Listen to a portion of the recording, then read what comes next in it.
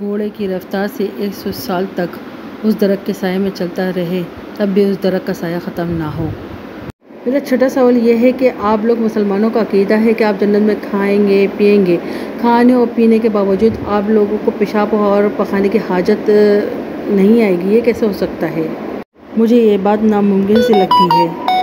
اگر یہ بات سچ ہے تو مجھے آپ ایسی کوئی دلیل دیں جس کو میری عقل تسلیم کر سکے۔ میرا ساتواں اور آخری سوال یہ ہے کہ آپ مسلمانوں کا عقیدہ یہ ہے کہ اللہ تعالیٰ نے جنت بنائی ہے اور جنت کے دروازے بھی ہیں۔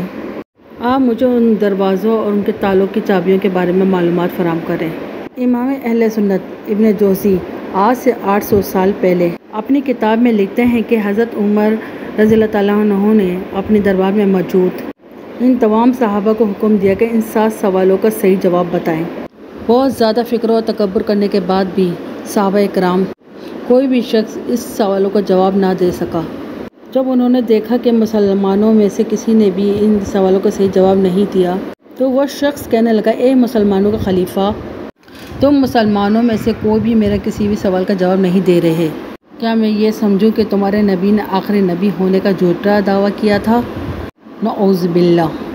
کیونکہ ہمارے نبیوں اور پیغمبروں نے آخری نبی کی پہچان کرنے کے لیے ہمیں کچھ سوالات بتائے گئے تھے اور کہا گیا تھا ان سوالوں کے جوابات۔ آخری نبی بتا سکتا ہے یا پھر وہ شخص بتا سکتا ہے جس کو نبی نے علم عطا کیا ہو۔ اس لیے، اے خلیفہ دوم، تم میں سے وہ شخص کون ہے جو نبی کے علم کا وارث ہو؟ جیسے ہی صحابہ اکرام نے اس آدمی کی یہ بات سنی تو اس کو فوراً حضرت علی رضی اللہ تعالیٰ عنہ کے پاس بھیجا۔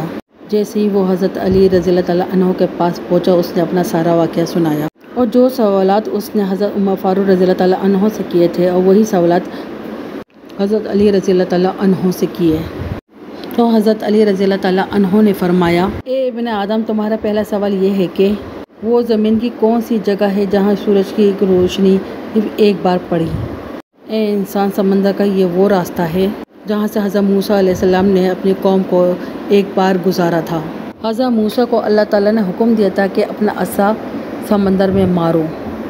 جیسے ہی حضرت موسیٰ علیہ السلام نے اپنا عصا سمندر میں مارا، سمندر دو حصوں میں تقسیم ہو گیا۔ حضرت موسیٰ علیہ السلام کی قوم حق میں وقت۔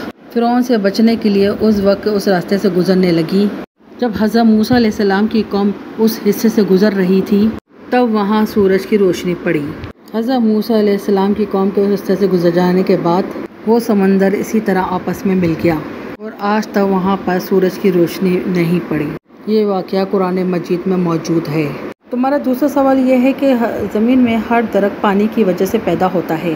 وہ کون سا درخت ہے جو بغیر پانی کے پیدا ہوا؟ اے ابن آدم، اس کا جواب یہ ہے کہ وہ درخت اللہ تعالیٰ نے اپنے نبی حضرت یونس علیہ السلام